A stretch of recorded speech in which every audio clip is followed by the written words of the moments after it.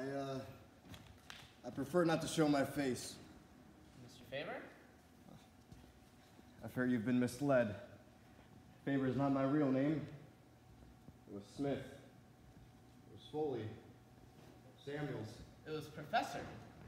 It was the great and wonderful Wizard of Oz. Oz? An old film, once an old book about a, an old fraud, a, a silly wizard who spoke in great tones but was empty and, and foolish, and cowardly. That's me, mind full of junk. Clarisse's grandfather, coward and crazy. Forgive me, just, just looking at a fireman scares the hell out of me.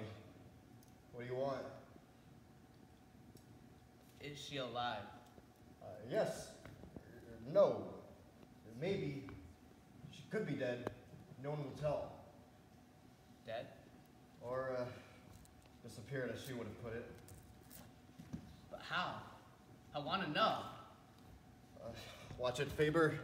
Remember, Wednesday burn Whitman, Thursday burn Thoreau. Friday, uh, Faber? You won't burn. I need you for something. Something that I can't understand. Never mind. Just forget I was here.